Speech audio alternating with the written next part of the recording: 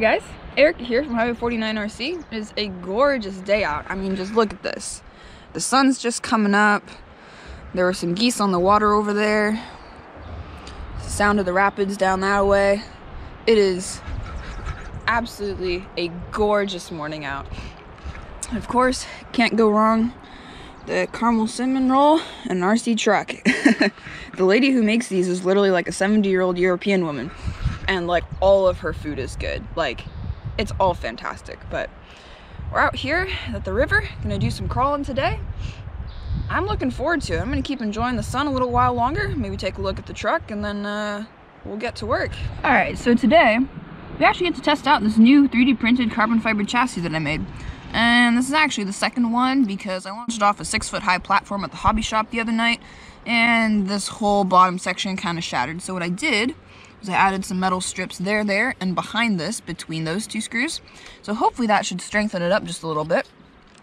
And then I also got some wider wheel hexes so that these guys don't rub anymore because I was noticing an excessive amount of torque twist uh, when I was driving and especially going uphill and I figured that the extra drag from the wheels rubbing probably wasn't helping that, so I got some wider hexes and they seem to work good. All right, one more thing before we get started. I love shooting on location. I love going to crawl spots, I love going to events, and I plan to go to a lot of events this year actually. I'm planning on going to the Autism Awareness Crawl, planning on going to Crawl for a Cure, considering Proline by the Fire, considering Axial Fest. So you guys might see me at those events, but of course now that I'm driving. I got my license recently. Yep. So it's pretty exciting. I'm here on my own, which is great because I kind of enjoy being alone when I'm filming. And so that obviously means that I now have to pay parking fees. I now have to pay gas. You know, the usual stuff. So if you guys want to help support me and uh, help get me to more locations to crawl at and make more awesome videos, head over to my Patreon. Consider donating a little bit. I would love that. I would so appreciate that if you could do that.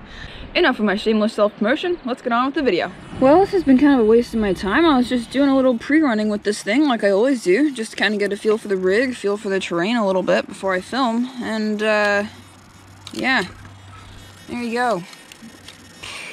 I guess this whole 3D printed chassis idea thing has not been a great one.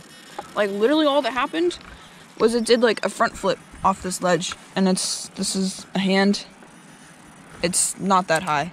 Like, it just kind of came down, meow, and that's all that happened. Like, actually. really? Like, come on.